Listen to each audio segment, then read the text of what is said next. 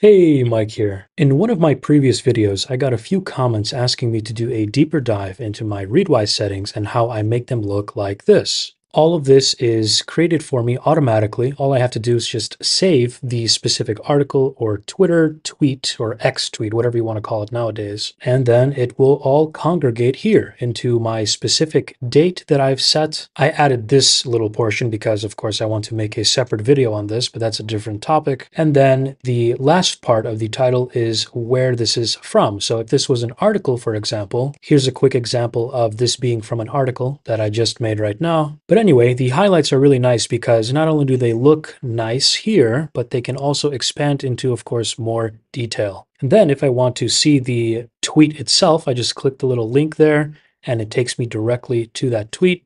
Then I can see everything that is within the tweet. I could also just click the link shortener here and it will take me instead to the direct article instead of the tweet. So that kind of saves me a click. Now, the first thing that you are going to need to do is, of course, have this specific plugin installed in the first place, Readwise Official. Next, you'll head on over to readwise.io slash systemsculpt and set up an account if you don't have one already. If you do it through my little link here, then you'll get 60 days, which is, of course, two full months, instead of just a 30-day trial. This is, of course, what the page will look like. So yeah, just uh, set it up and then come on back to Obsidian. Next, you are going to head on over to your settings within the Readwise official plugin and then click the Customize button that you see right here. And this is what you'll be hit with, the Obsidian export page. So when it comes to all of these settings, I'm not really going to go through them one by one. Instead, I've made a README, which is just going to be a public Git repository on my GitHub, link in the description, and it will have everything that you need and reasonings as to why I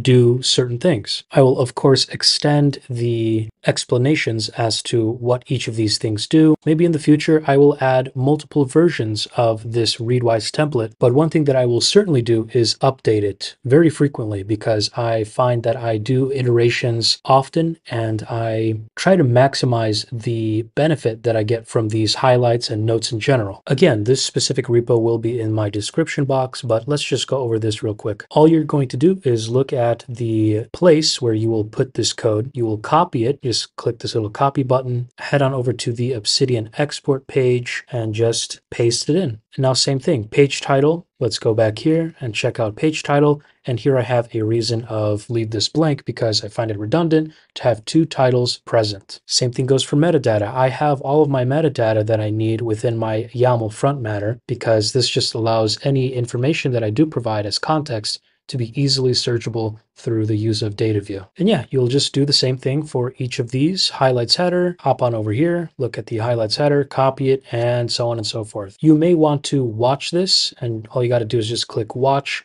or star it, fork it maybe. And that way, of course, you will get all of the updates that I come up with, any optimizations that I do. Now, the reason that I have this little tag here, and if you do want me to dive deeper into how this code works, then I can definitely do that in a separate video, but I do want to keep this one quite short just so that you can get it all set up appropriately. But Obsidian introduced what's called, well, they're not called annotations. They're called, hold on, I forgot what it's called specifically, but they're called callouts. That's what they're called. So these callouts, they allow you to do basically what admonitions the community plugin did. But now it's, of course, built in. So you can do an info box like I do in my notes, or you can go, you know, deeper and create nested callouts. I do a one nest callout, I believe. You can also get fancy and change how everything looks with CSS, but I don't really go that far Or maybe I will in the future, who knows? But if I do, then of course I will update the GitHub. But yeah, the same way that functionality works here, that's the same way I've set everything up here. So yeah, expect a lot of updates for all of this. This is just my first rendition of how I want everything to look when it comes to note taking and text syncing between Readwise and Obsidian. I might go a bit more complex. I might actually make things simpler, who knows? But uh,